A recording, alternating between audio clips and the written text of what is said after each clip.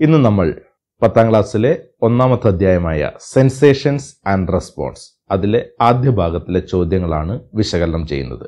Look at the first question the following figure shows distribution of ions on either side of the plasma membrane of the axon Analyze the figure and answer the following. The cross section of axon is given Then the first question, why is there a difference in charge distribution on either side of the plasma membrane? The change in charge is due to the difference in the distribution of certain ions. We know on either side of the plasma membrane there are certain ions are distributed. The outer surface consists of positively charged ions and inner surface consists of negatively charged ions. Second part of this question is what changes to the stimulus create in the charges on either side of the plasma membrane? How do these changes get transmitted through the axon as impulse? This is an important question. We know when a neuron is stimulated, the distribution of ions in that particular part changes and hence the inner surface become positively charged and the outer surface become negatively charged. This momentary charge difference stimulates its adjacent part and similar change occurs there too. As this process proceeds, impulse get transmitted as electrical charges. Observe the next question. Impulses are formed due to the change in the distribution of ions on either side of the plasma membrane of a neuron. The question is, what changes occurs to the charges on either side of the plasma membrane during impulse formation? Which factor causes this? The same question is already discussed. The answer is, the inner surface become positively charged and the outer surface become negatively charged. The factor which cause this change is stimuli. Stimulus which create this change in charge on either side of the plasma membrane. Next question. A synapse is only the junction between two neurons. Do you agree with this statement? Why? We know what is synapse. Synapse is the junction between two neurons or a neuron and a muscle cell or a neuron and a glandular cell. So the statement is incorrect. We cannot agree with this statement. Next question. Which of the following statements are correct in connection with the transmission of impulse through synapse? Option A. Transmit from the cell body of one neuron to the cell body of adjacent neuron. Option B. Transmit from the synaptic knob of one neuron to the dendrite of adjacent neuron. Option C. Transmit from the synaptic knob of one neuron to the axonite of adjacent neuron. Option D transmit from the dendrite of one neuron to the axonite of adjacent neuron. We know what is synapse. The synapse is always between the synaptic knob of one neuron and the dendrite of another neuron. So here the correct statement is B.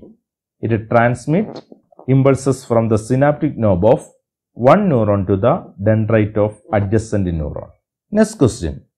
Observe the figure and answer the questions. In this figure, we can see two parts indicated X and Y. So the first question is, explain the transmission of impulses from X to Y. Then the second question, what is the significance of neurotransmitter in this process? First question, transmission of impulse from X to Y. When electric impulse from the axon reach the synaptic knob, certain chemical substances are secreted from there to the synaptic cleft. These chemical substances are called neurotransmitters. They stimulate the adjacent dendrite or cell. As a result, new electric impulses are generated. Hence, the electric impulse from the first neuron is transmitted to the second neuron. The second question, significance of neurotransmitter. We know the neurotransmitters stimulate the adjacent dendrite or cell. As a result, new electric impulses are generated. So, the function of neurotransmitters are which helps in the transmission of impulses across the synapse. Next question. There are three pictures are given. They are denoted as A, B and C.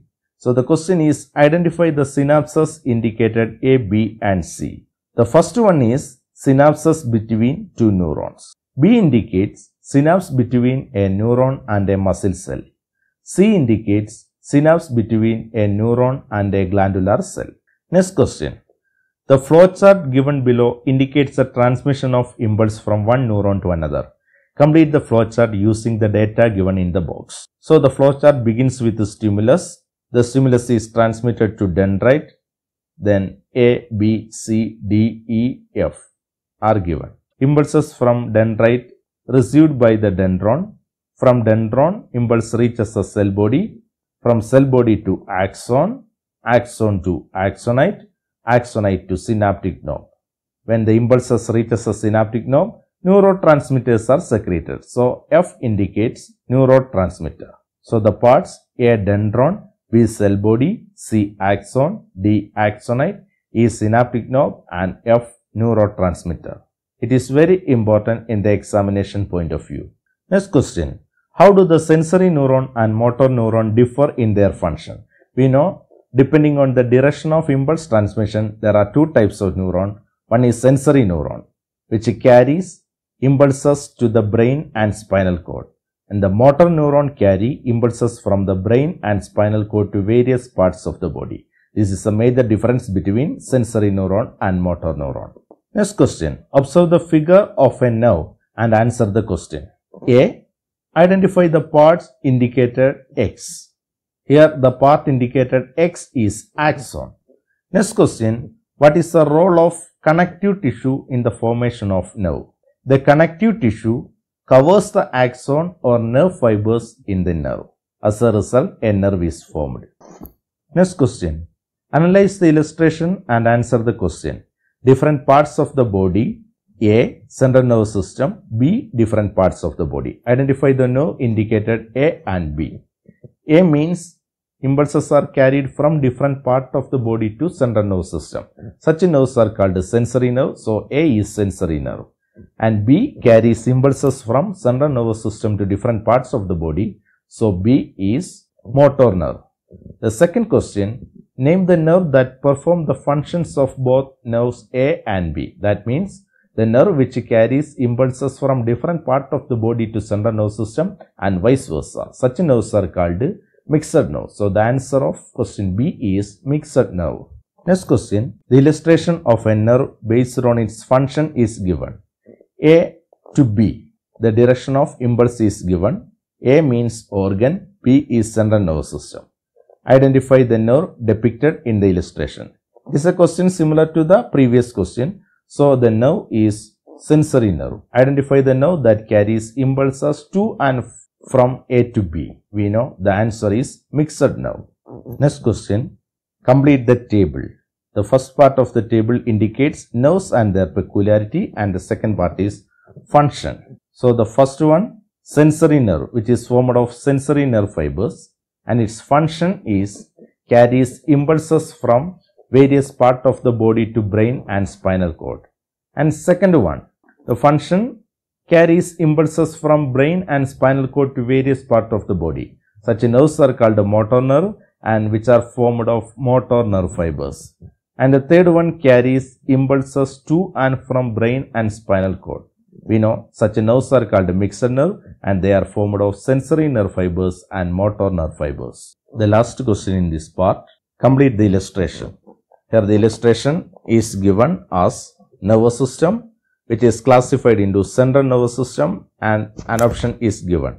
We know nervous system is classified into central nervous system and peripheral nervous system. So A is peripheral nervous system. Then the central nervous system consists of brain and the next part is spinal cord. Peripheral nervous system consists of cranial nerves and spinal nerve. So the answer is cranial nerve. We know there are 12 pair of cranial nerve and 31 pair of spinal nerve നമ്മൾ പത്താം ക്ലാസ്സിലെ ഒന്നാം അധ്യായമായ sensations and റെസ്പോൺസസിലെ ആദ്യ ഭാഗത്തിലെ ചോദ്യങ്ങളാണ് പരിചയപ്പെട്ടത്. ഇതിലെ ആശയങ്ങൾ നിങ്ങൾക്ക് വ്യക്തമായി മനസ്സിലായിട്ടുണ്ടെന്ന് പ്രതീക്ഷിക്കുന്നു. ഉത്തരങ്ങൾ കൃത്യമായി നിരീക്ഷിച്ച് ഇതിലെ ആശയങ്ങൾ മനസ്സിലാക്കുക. ഇത് പൂർണമായും പഠിക്കുന്നതോടെ നിങ്ങൾക്ക് എ പ്ലസ് ലഭിക്കുമെന്നുള്ളത് ഉറപ്പാണ്. എല്ലാവർക്കും നന്ദി നമസ്കാരം.